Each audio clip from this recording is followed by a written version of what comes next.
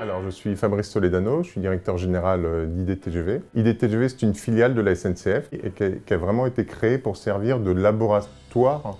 euh, d'innovation, d'idées, de services pour, euh, pour les voyageurs du train grande vitesse. On fait voyager à peu près 5 millions de voyageurs par an et auprès de ces 5 millions de voyageurs, on adresse effectivement des, des tests de services qui, s'ils sont probants, sont repris après par l'ensemble de, la grande vitesse et notamment du TGV. Le dispositif, en termes de satisfaction client, euh, on a effectivement changé de dispositif il y a un peu plus de deux ans maintenant. On va aller interroger euh, automatiquement l'ensemble de nos, voyageurs, soit après leur voyage, soit après leur contact euh, auprès de notre service client, pour mesurer l'ensemble de leur satisfaction sur les différents critères, sur les différents services. Cette notion d'exhaustivité, elle est importante parce qu'elle nous permet d'enrichir notre base et la connaissance euh, qu'on peut avoir de nos voyageurs et donc de pouvoir derrière leur adresser une relation beaucoup plus personnalisée par rapport à ce qu'ils ont dit, ce qu'ils ont pensé, ce qu'ils nous ont témoigné. Toute cette information de connaissance client, elle est désormais remontée sur les outils des contrôleurs qui sont à bord, qui sont totalement libres pour vraiment être dans une posture relationnelle vis-à-vis de euh, des voyageurs.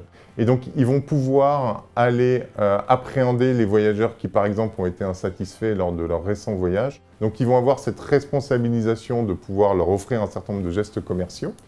et de pouvoir justement, eux-mêmes, directement, être un vrai canal de relation client. Et la deuxième fonctionnalité qu'on a développée par rapport à ça, c'est ce qu'on appelle le chat superviseur, qui est en fait un outil qui permet au superviseur de communiquer avec le client, ou c'est d'ailleurs le client généralement qui pose des questions au superviseur lorsqu'il a besoin de lui, parce qu'il a une question pendant son trajet. Et donc le voyageur qui est assis à sa place dans le train, depuis son application mobile IDTGV, va pouvoir engager une conversation avec le superviseur qui, lui, va la recevoir sur son outil. C'est vraiment un moyen, finalement, d'avoir une conversation qu'on pourrait avoir avec un plateau de service client, mais à chaud pendant son voyage et finalement avec le meilleur expert du train, c'est-à-dire euh, le superviseur qui va pouvoir répondre à l'ensemble des questions. Il y a vraiment ici euh, un intérêt pour nous à répondre immédiatement à un besoin client et c'est vrai que cette instantanéité, à partir du moment où elle est bien traitée, euh, l'ensemble du voyage est vraiment perçu différemment parce qu'on avait besoin de quelqu'un, on a eu une personne physique